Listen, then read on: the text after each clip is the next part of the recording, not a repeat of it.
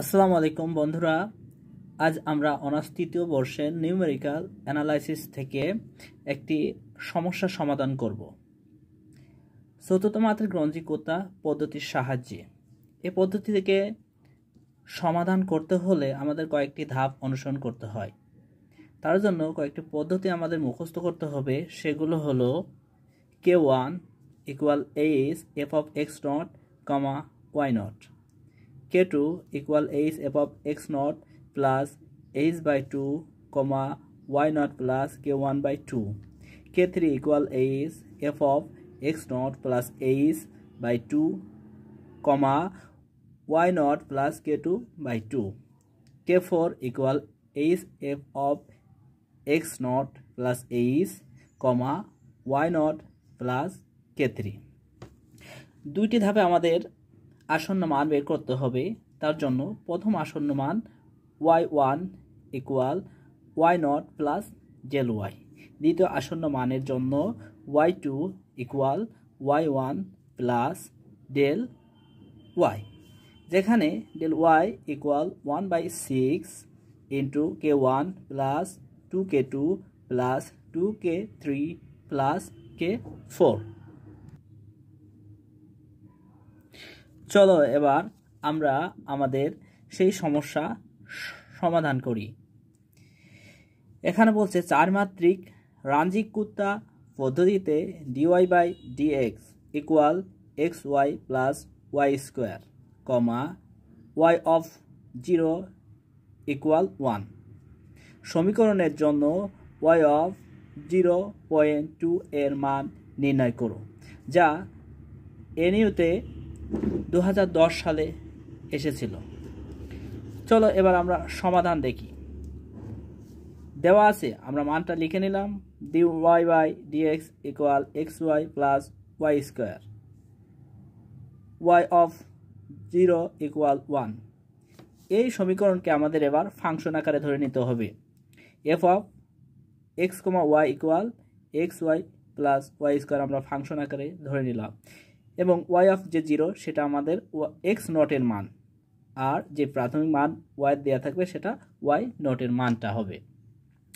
এবং মানে H equal zero point one মানে আমাদের দেওয়া আছে Y of zero point two এর মান নির্ণয় করতে। সুতরাং এটাকে আমাদের দুই ধাপে করতে হবে। একটা H one equal zero point one পরবর্তীতে আবার এক্স ওয়ান সমান আমরা জিরো পয়েন্ট ওয়ান করব, যা পরবর্তী আমরা অঙ্ক করলে বুঝতে পারব। চতুর্থ ক্রমের রঞ্জি কুর্তা পদ্ধতিতে হতে আমরা পাই? কে ওয়ান।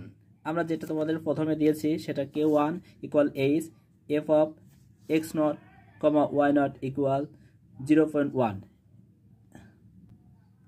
এখানে K equal H F of X naught Y naught equal zero কীভাবে হয় সেটা আমরা ক্যালকুলেটার মাধ্যমে এখন দেখব। এখানে আমাদের H F of X naught Y naught এই মানটা আমাদের বের করতে হবে প্রথমে। এটা জিরো পয়েন্ট ওয়ান এটা কীভাবে হয় সেটা আমরা ক্যালকুলেটার মাধ্যমে দেখব। আর এইচের মান জিরো পয়েন্ট ওয়ান আছে, সেটা প্রথমে আমরা তুলে নেব zero point one first bracket alpha X alpha Y alpha Y যোগ alpha Y square bracket close এবার ক্যালে প্রেস করব। ক্যাল এক্সের মান হোয়াট আমাদের দেখাচ্ছে এক্সের মান হোয়াট এক্সের মান আমাদের ছিল জিরো জিরো প্রেস করে ইকুয়াল ওয়াই এর মান আমাদের ওয়ান তাহলে আমরা আমাদের মান পেয়ে গেলাম জিরো পয়েন্ট ওয়ান মানটা পেয়ে গেছি। এবার দ্বিতীয় আসন্ন মানের জন্য আমরা আবার ক্যালে প্রেস করব এবং এক্স নট আমরা এক্স নটের মান জানি ওয়ান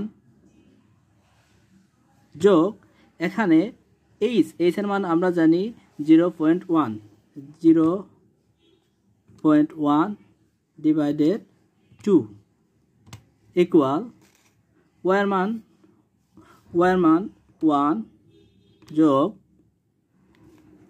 কে ওয়ানের মান আমরা কত পেয়েছিলাম? এটা কে ওয়ানের মান।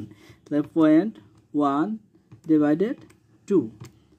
হ্যাঁ আমরা মান পেয়ে গেছি, বন্ধুরা, zero point one one five five. এবার আমরা তৃতীয়, এবার আমরা কে থ্রি এর মান নির্ণয় করব।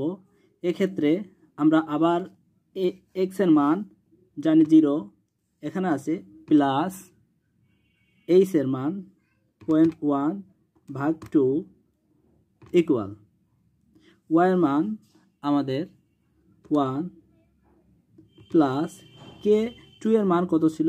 Zero point one one five five ভাগ টু হ্যাঁ বন্ধুরা, এই যে আমাদের মানটা, পরবর্তী মানটা আমরা পেয়ে গেছি কে থ্রি এর মান।